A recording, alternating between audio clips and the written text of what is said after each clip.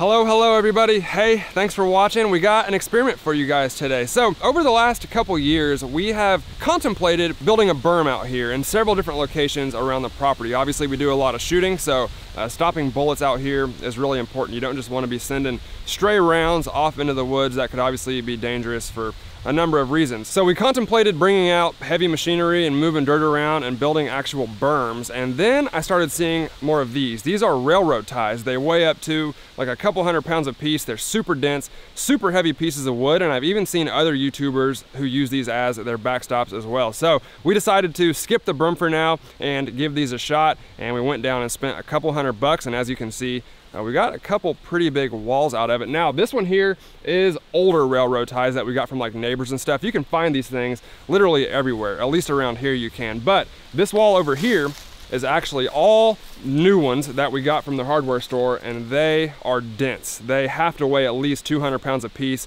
super thick, super heavy, and I imagine they're pretty good at stopping bullets. So we've had these up for a while now. I'm sure you guys have seen them in my last few videos. So I know they definitely stop some bullets, but I thought, why don't I come out, bring you guys out here with me and we make a video and find out how bulletproof is a railroad tie and is our backstop sufficient. So the guinea pig for today's video, the one we're gonna shoot is one off of the new stack. This is a very heavy, very dense piece of wood. And I'm hoping that it's also really good at stopping bullets. Let's see. So I could probably be a little bit closer, but just to be safe, I'm gonna start back here, especially with the smaller calibers, and then maybe we'll move up in a little bit. But as you probably guessed, we're starting with the 22 long rifle out of the Taurus PT22.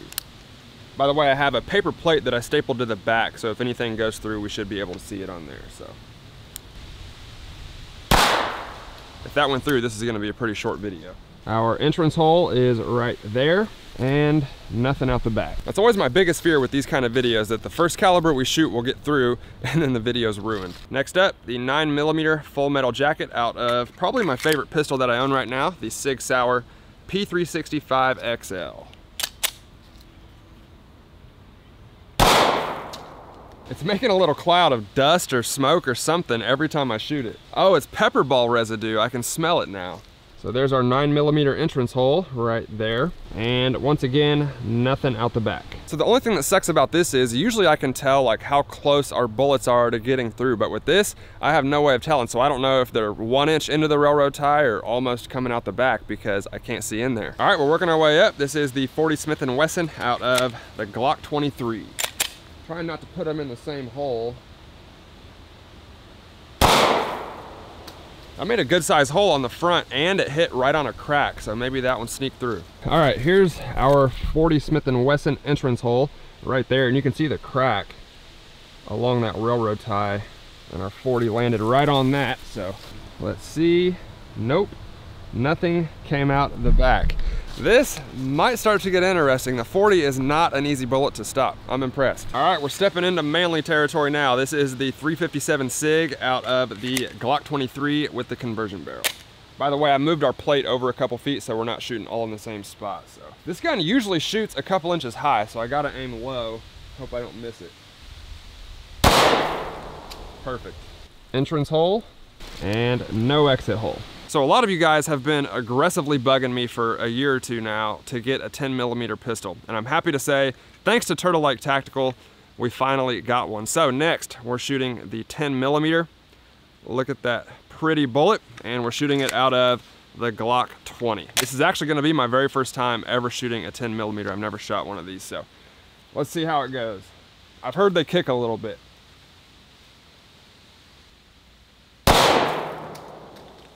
Not terrible. Compared to the 44 Magnum, it feels like nothing.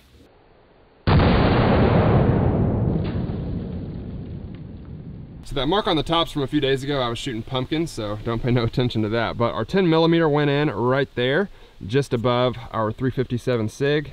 And once again, nothing came out the other side. So I gotta say, that is pretty impressive. These are some pretty big pistol calibers that we're shooting at this thing. And like I said, I have no idea how close they are to getting through, but so far, nothing has made it all the way through. So I really don't wanna do this, but I guess I have to. Next up, we have the 44 Magnum, which is a really powerful round, but it's the gun that makes this so brutal. So this is the Taurus 444 Ultralight 44 Magnum. And I made a video on this recently and it's just a horrible gun to shoot. It's an ultralight 44 Magnum, so you're getting maximum recoil out of this thing, and it's painful. I noticed in the comments a lot of people were saying that it didn't look that bad, and I was surprised by that myself. It felt a lot worse, but I think it's the rearward punch that I'm getting in the palm of my hand and not so much the muzzle rise. So I guess it doesn't look as bad as it feels, but trust me, it sucks. I'll probably miss the target completely, but.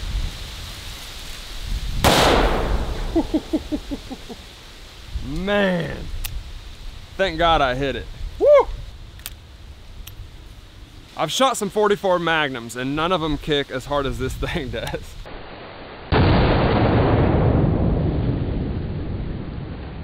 Now, of course, there's extreme penetrators and other ammo that's designed to penetrate stuff better, but my goal with this video isn't to get through this thing. It's to shoot ammo that I would normally come out here and shoot and just see what our wall will usually stop. So our 44 Magnum went in right there on the bottom. It's actually one of the better placed shots of the three.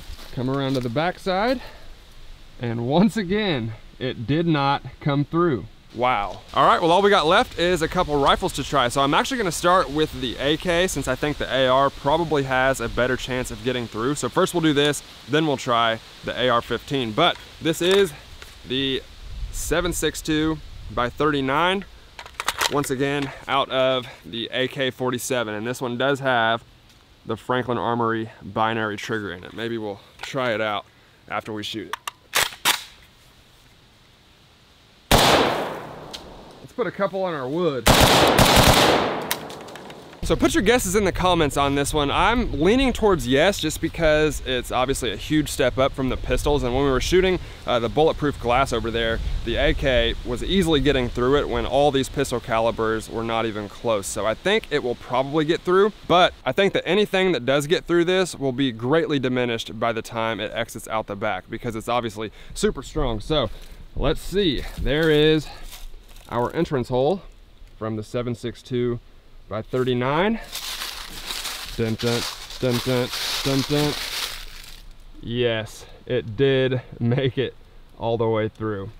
Hard telling, maybe it looks like it hit right there, up underneath our wall of railroad ties here. It's gonna be really hard for me to see if it came out the backside.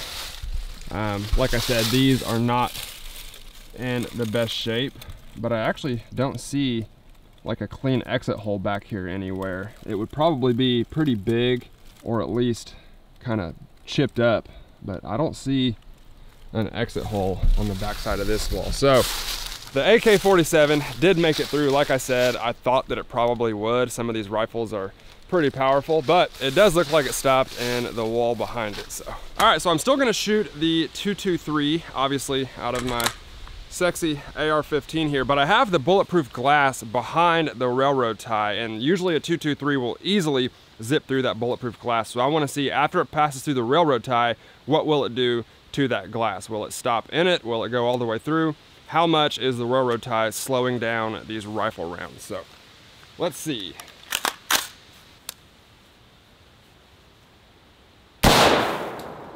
So this is a really surprising result, not what I expected at all, but you can see right here where our 223 went in, obviously a much smaller hole.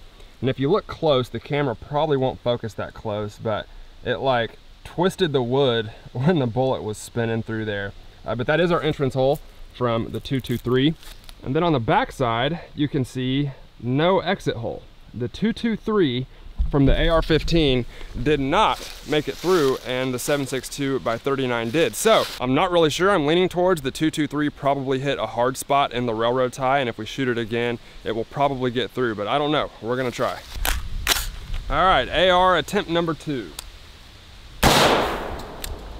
All right, so our second 223 hit just below the first one.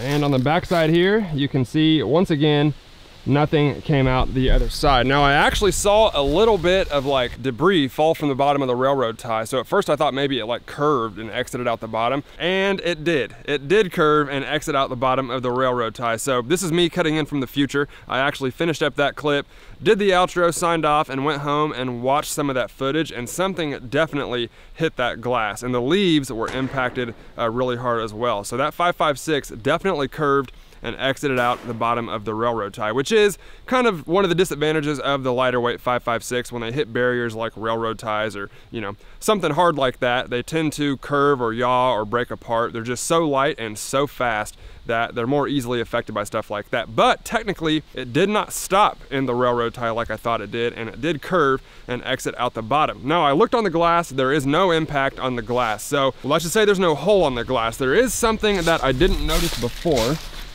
I'll try to show you guys if you can see that right there. It almost looks like a bullet hit that sideways. And there's even a streak on the glass pointing towards the ground. Like maybe that 556 curved and kind of hit it, you know, while it was tumbling through the air and probably hit the ground after that. But I looked around, obviously I can't find the bullet. I wish I could, I would show you guys if I could find it. But unfortunately I can't, but I did think it was necessary to come back out here and clear that up for you guys. Now, if that was a railroad tie on our wall here, it probably would have either curved down and hit another tie underneath it and stopped the bullet in that one, or it took a, such a sharp turn that it would have hit the ground behind it and rendered that bullet pretty much useless and either way they kind of would have done their job but it technically did not stop in the railroad tie like we thought it did. Well, that is gonna do it for me today, guys. Thank you all for watching. I hope you enjoyed the video. This was kind of a personal experiment, honestly, but I had to come out here and see uh, what my railroad tie walls would actually stop, and I gotta say,